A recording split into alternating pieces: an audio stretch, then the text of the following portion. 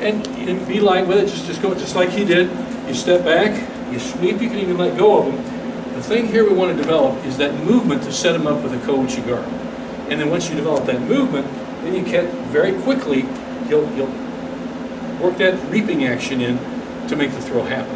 Okay? See, and the idea is to catch him as, as Jake is stepping, Derek will catch that and reap.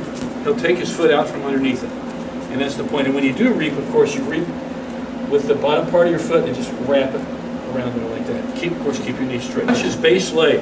Okay, we've been concentrating on the reaping leg. Watch the base leg.